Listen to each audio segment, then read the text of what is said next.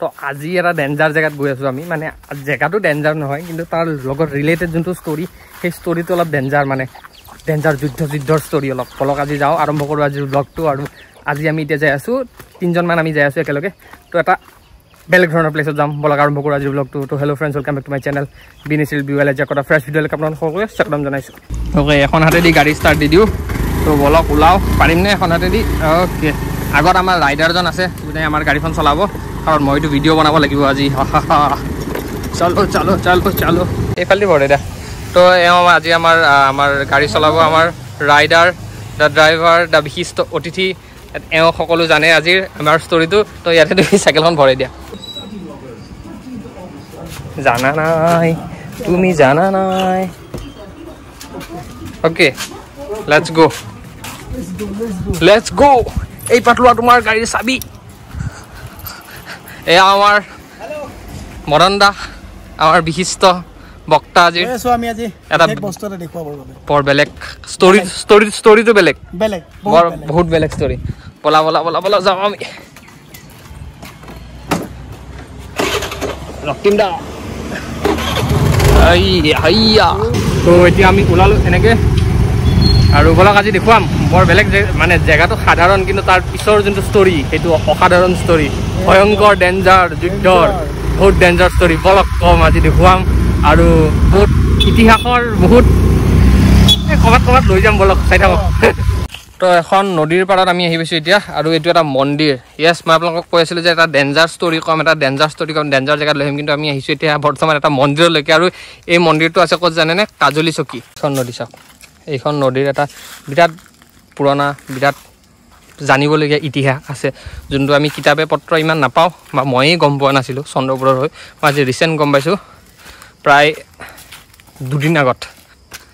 বহুত বহুত ধন্যবাদ পোনপ্ৰথমে আপোনাক এই জেগাখিনিত আমাক মানে মোক লৈ অহাৰ বাবে। লগতে আমি আজি দৰ্শককো লৈ আহিছোঁ এই জেগাখিনিত। তো বৰ্তমান আমি ক'ত আছোঁ? অলপ কৈ দিয়ক। আমি আছো কাজলী চকী। কাজলী চকী। আহোম বুৰঞ্জীৰ এক উল্লেখযোগ্য স্থান। কাজলী চকী।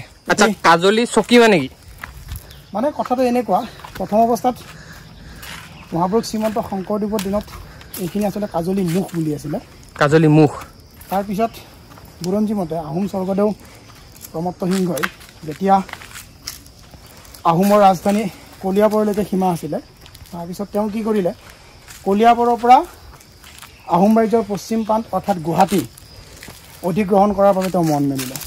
মন মেলাৰ পিছত কিয়নো সেই সময়ত গুৱাহাটী প্ৰায়ভাগ সময়ে মোগল আৰু কছাৰী ৰাজ্য ৰজাৰ শাসনত আছিল। তেওঁলোকৰ অধীনত আছিল। গুৱাহাটীত মানে তেতিয়া মোগল আহি পাইছিল। অ, হয় কেতিয়াবা মোগল নহয় কেতিয়াবা কছাৰী কছাৰী ৰজা। ৰজা। মানে কছাৰী মানুহ যোনখিনি অ, কছা- জনগোষ্ঠী। কছাৰী ৰজা কছাৰী ৰাজ্য আৰু মোগলে দুজনৰ এই দুখন ৰাজ্যৰ মাজতে মানে কেতিয়াবা কছাৰীয়ে পায় কেতিয়াবা মোগলে পায়। এনেকুৱা গুৱাহাটীখন বৰ্তমান যোনখন গুৱাহাটী আচ্ছা। ধৰণৰ- আৰু সেই গুৱাহাটীখন অধিগ্ৰহণ কৰাৰ কাৰণে ৰজা প্ৰমত্ত সিংহই ব্যৱস্থা গ্ৰহণ কৰি এই কাজলী মুখ নামৰ ঠাইত কাজলী খোৱা গোসাঁই নামেৰে এজন বিষয়া নিয়োগ কৰি এক চকী নিৰ্মাণ কৰা। আচ্ছা আচ্ছা এই জেগাখিনি আৰু এটা ষ্টৰি মই আপোনালোকে যোৱা পৰহি মোক কৈছিল মই শুনিছিলোঁ বা আগৰ পৰাও গম পাওঁ জনাল বোলো অ জোঙাল বলহু জোঙাল তেওঁৰ বলহু বিষয়ে? কছাৰী ৰজা জোঙাল। বলহু কছাৰী ৰজাৰ দিনতে এতিয়া কি হ'ল তেওঁ শেষ মুহূৰ্তত আৰু আচ্ছা শত্ৰুপক্ষই তেওঁক আক্ৰমণ কৰিলে মানে তেখেত তেখেতৰ ৰাজ্যৰে শত্ৰুপক্ষই তেওঁক আক্ৰমণ কৰিলে। তেখেত কোন আছিল? জঙাল বল জোঙাল বলহু আছিল কছাৰী ৰাজ্যৰ ৰজা। ৰজা আচ্ছা ৰজা। আচ্ছা। আমি তিৱা ৰজা বুলিও কয় কিছুমানে লালুং ৰজা বুলিও কয় বিভিন্ন। ধৰণে বিভিন্ন মতবাদ আছে। যেনে কছাৰী বুলিও কয় লালুং বুলিও কয় তিৱা বুলিও কয়। আচ্ছা আচ্ছা। সেই হিচাপে জোঙাল বলহু যেতিয়া আক্ৰমণ কৰিলে তেওঁ কি কৰে তেওঁ নিজ ৰাজ্যৰ পৰা পলালে। মানে নিৰস্ত্ৰ হ'ল। নিৰস্ত্ৰ হৈ তেওঁ তাৰ পৰা নিৰস্ত্ৰ নিজ ৰাজ্যৰ পৰা পলাওতে প্ৰথম আহ, নিজ ৰাজ্যলৈ পৰালে পৰোৱাৰ পিছত মানে কি হ'ল তোমাৰ তেওঁ প্ৰথম আহি নগাঁৱৰ ৰহা নামৰ বৰ্তমান যিখিনি ঠাই আছে ৰহা নগাঁও ৰহা চবেই জানে তেওঁ ৰখিছিলে। সেইকাৰণে জেগাখিনিৰ নাম জেগাখিনিৰ নাম ৰহা বুলি জনশ্ৰুতি মতে কয় আৰু। আচ্ছা। দ্বিতীয়তে তাৰ পৰা তেওঁ ভটিয়ে আহি আছে। তে কেনেকে আহি আছিলে? সাঁতুৰি নেকি? নদীত সাঁতুৰি আহি আছিল বুলি জনশ্ৰুতি মানে যোনখন এতিয়া আমাৰ নদ নদী কলং নদীখন খুটি। এটা নদী। আচ্ছা তেওঁ সেয়া নগাঁৱৰ পৰা সাঁতুৰি আহি আছে। আহি আছে। তাৰপিছত বহা নামৰ ঠাই বৰ্তমান মৰিগাঁও জিলাৰ বহাত তেওঁ বহিছিলে। আচ্ছা। তাৰ পৰা আহি এই এই- এই কাজলী মুখতে তেওঁ শত্ৰুপক্ষই হানি খুচি মাৰিছিল। মানে ইয়াতে তেওঁক ধৰি পেলাই মাৰিছিল। মাৰিছিলে আচ্ছা মৰাৰ পিছত ইয়াতেই মানে তেওঁ কণ্টেষ্ট্ৰিকীয়া মানে ইয়াতেই সমাৰ পৰা দ্বিতীয়তে আমি যিটো সকাম বুলি কওঁ সকামটো ইয়াতেই মানে কছাৰীসকলে আচ্ছা। কৰিছিল। তেতিয়াৰ পৰা সেই কাজলী মুখ চলি ৰাখিছিল কাজলী মানে? কাজলি কাজলি মানে আচলতে ইয়াতে হোৱাৰ কাৰণে। সেই হিচাপে মানে অন্তিম যোনটো আৰু মানে মৰাৰ পিছত যোনটো আমি কাজ পাতো সকাম বুলি কওঁ আৰু। সেই কাজখন ইয়াতে পাতিছিলে। জনাল বোলো তাৰপৰি ইয়াৰে অকণমান আগুৱাই গ'লে আমি থামখুন্দা থামখুন্দা বুলি কওঁ। এই কাজৰ কাৰণে মানে যিবোৰ মানে চাউল হেৰি কৰিছিল তাত সেই থামখুন্দা নামৰ ঠাইত ধানটো খুন্দিছিল গতিকে সেই নামখিনিৰ নাম হ'ল থামখুন্দা। আচ্ছা। জনশ্ৰুতিৰ মতে কোৱা যায় মানে জনশ্ৰুতি বিভিন্ন ইতিহাস জড়িত হৈ আছে আমি গম পাই বা বাকীবোৰেও জানে অলপমান হয়তো খুচৰিলে নিশ্চয় পাব।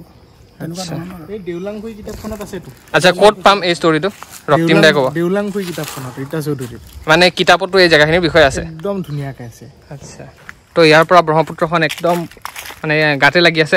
আৰু এই মাটিখিনিৰ তলত কি আছে জানেনে? এই মাটিখিনিৰ তলত আছে আহোমৰ দিনৰ গোলা বাৰুদ যোনবিলাক সেই বলবিলাক কি কয় আগতে তোপৰ পৰা যোনটো গুলি গৈছিল নহয় সেই গুলিবিলাক এতিয়াও ইয়াৰ মাটিৰ তলত পোতা হৈ আছে তৰোৱাল আছে কিবা কিবি আছে বিভিন্ন পুৰণা আহোম দিনৰ বস্তু আছে। তাৰে গুলিৰ মই কিমান হেৰি দেখাম বাৰু আপোনালোকক। তো এইফালে চাওক ব্ৰহ্মপুত্ৰখন এইখন। ঐ, ব্ৰহ্মপুত্ৰখন এইফালে যাবও পাৰি দেখোন ন? নিজকে লাচিত বৰফুকন বুলি ভাবা। সেইফালৰ পৰা মোগল আহি আছে। মানে নাৱেদি এনেকুৱা কাজিয়া লাগিব। তুমি মানে নিজকে লাচিত বৰফুকন ইয়াৰ পৰা তুমি চাই আছা? অৰ্ডাৰ দিছা। এই ঐ অমুকটো গুলি আহিব ফিল্ডটো এইটো। আচ্ছা আমাৰ যে মাজতে যে পাইছিলে গুৱাহাটীৰ এতিয়া আমি মিউজিয়ামতো আছে ইয়াৰে বৰটোবৰ গুলি যোনটো এইখিনি মাটিৰ তলত তলত তলতেতো আছে চাগে নিশ্চয়? আছে নিশ্চয় আছে। মানে এৰিয়াটো এইটোৱে? এইটো বিষ্ণু মন্দিৰৰ এইটো এৰিয়া মন্দিৰ আমাৰ কিমান বিঘা মাটি আছে ইয়াত। ইয়াৰ মানে মন্দিৰ এৰিয়াৰ ভিতৰতে আজি দুহেজাৰ ন চনত মানে আমাৰ কাজলিৰ পৰা কাজলিৰ এটা ৰাস্তাত। তাৰমানে মানে গোলা বাৰুদ উদ্ধাৰ হয়।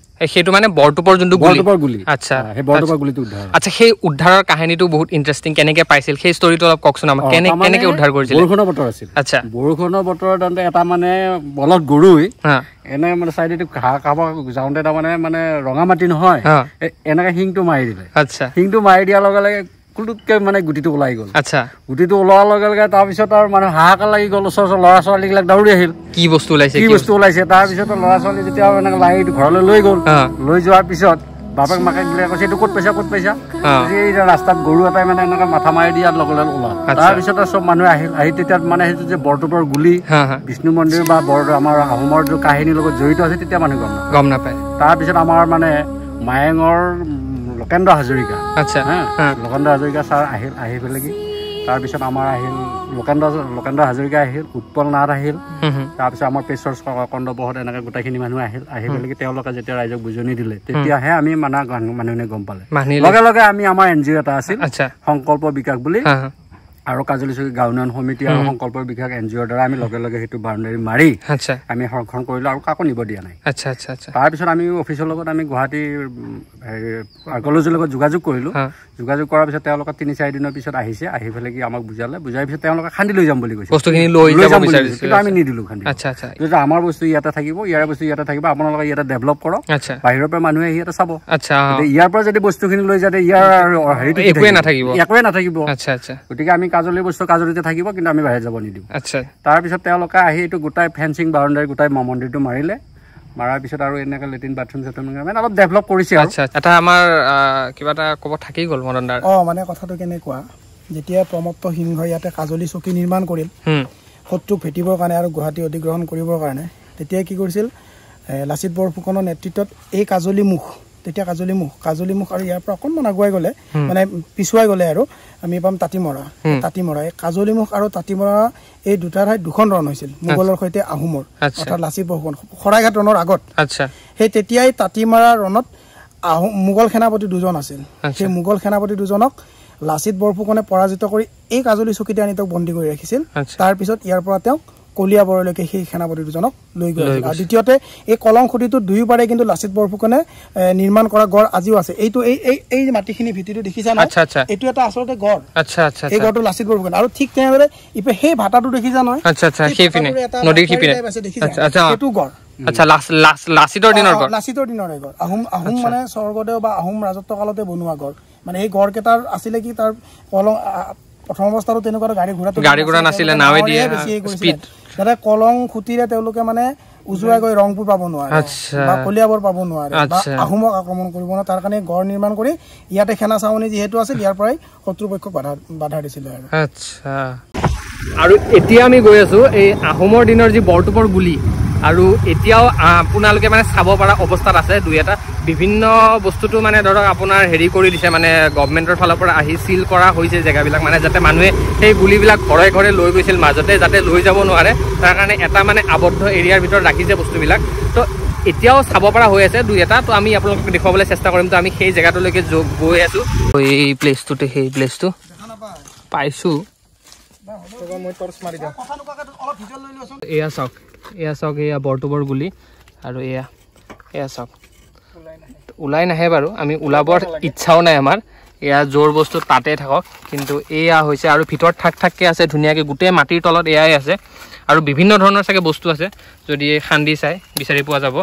কিন্তু অসম বুলিহে নহয় চাইনাত এনেকৈ পাইছিলে যে কি কি ৱাৰিয়াৰ আছিল নে টেৰাকাটা ৱাৰিয়াৰ্ছ নে কি প্ৰভাৱ টেঙা এয়া এই ধুনীয়াকৈ লাগিছে। জেগাখিনি বৰ বেলেগ ধৰণৰ মানে। মদন দা থেংক ইউ লৈ আহিছে আজি একদম বেলেগ ধৰণৰ একদম ধুনীয়া জেগা ৰে দেই। মজা মজা মজা। এই চাপৰিবোৰ এই চা না এই চা না নাওখন চা নাওখন আহি আছে এই টাৰ্ণিংটোত এনেকে লৈ পেলাই এনেকে যেতিয়া ওলাই যাব। আহোমৰ যুদ্ধৰ সময়ত তুমি বোলে ইয়াতে বোলে টাইম হেৰিত গুচি গ'লা বোলে ইয়াতে বোলে যুদ্ধ হৈ আছে তুমি চাই আছা বোলে? চাই আছো বোলে। কেনেকুৱা feel হ'ব? ন? বোলে ইফালেদি এনেকে আহিছে বোলে নাও মোগলৰ নাও ইফালেদি আহিব মোগলৰ নাও আহিছে অ। মোগলৰ নাও আহিব। পুৰা ইফালৰ পৰা কাৰ মাৰি আছে ইফালৰ পৰা তৰোৱাল এখন নাৱৰ পৰা ইফালে জাপ দিছে বোলে মজা লাগিব ৰে। তুমি বোলে মাজত টেলিপৰ্ট হৈ গ'লা। মই যদি তাতে যাই পাওঁ এতিয়া। অ দাদা নামাৰিব নামাৰিব। লাচিতক এটা এৰি দি আহিম। চেলুট। বোলে নাই এইটো এইটো মোহনৰটো দি দিলে হ'ল। মোহনৰ মোহনৰ ষ্টাইলটো অ অ। এনেকুৱা টাইপ মানে মোহনৰ মানে সেইটো আৰু। সেইটো ষ্টাইলটো দি আহিবা লাচিতক। লাচিত নৰিয়া গাত থাকিব না এতিয়া। লাচিত নৰিয়া গাত থাকিব। চেলুট তেওঁ তেওঁ। পুৰা ৰ'দ পৰি পুৰা ৰঙা হৈ গৈছে। মই চলোৱা কথা আছিল কিন্তু মানে এই মনোৰম দৃশ্য নদীৰ পাৰে পাৰে যোনটো ৰাস্তা গাঁওখনৰ সেইটো আপোনালোকক দেখুওৱাৰ স্বাৰ্থত ৰক্তিম দাক দি দিছোঁ গাড়ী গাড়ীখন তেওঁ অলপ কমফৰ্টটো কম মানে বেয়া ৰাস্তাত চলোৱাত। এইবোৰ কি হয়? অ' আচ্ছা যাতে সহায় লৈ নাযায়। আচ্ছা চাওকচোন কি প্লাষ্টিকৰ বেগ দি দিছে। যাতে সহায় লৈ নাযায়। প্লাষ্টিকৰ বেগ নে কি? ভিতৰত চালু কিবা আছে। যাতে সহায় লৈ নাযায় মানে গৰা খহনীয়াত প্ৰায় ক্ষতি কৰে চাগে ইয়াতে। এই জেগাবোৰ। একো নাই ৰক্তিমলাই বিন্দাছ যোৱা ভাল ৰাস্তা পাই গ'লোঁ আমি। তো নদীৰ পাৰে পাৰে। নদীৰ পাৰে মজা এইখিনি মই অহা নাই ৰে। সুন্দৰ জেগা চাওক। মনোৰম দৃশ্য এক। কাজলী চকী আৰু এই গাঁওখনৰ আমি ভিতৰৰ পৰা ভিতৰলৈকে সোমাই আহিছোঁ। এই চোৱা। অহ' এতিয়াহে এই ভিউটো আহিছে। তাঁতিমাৰাৰ পাহাৰ এইখন। আচ্ছা মজা মজা ব'লক মজা গাঁওখনৰ ভিতৰলৈ সোমাই গৈ আছোঁ। চাওক ঘৰবিলাক চাওক কি একো ক'ব লগা নাই আপুনি গাঁওখন চাওক। কি সুন্দৰ। এয়া গোহালি লগতে আমাৰ চাঙত লাগিছে লাও কোমোৰা। ছাগলীৰ ফাইট ৰাস্তাটো যুদ্ধ যুদ্ধ। ছাগলীৰ যুদ্ধ ৰাস্তাত মাজ ৰাস্তাত। সেইটো কায়ো কোনো দিবা নোৱাৰে। যায়। মায়া খানি তাই ঐ চেচ যাই যাই আছে। যাই নহয় দে এ যিয়ে নহওক ব'লা ব'লা ব'লা ব'লা।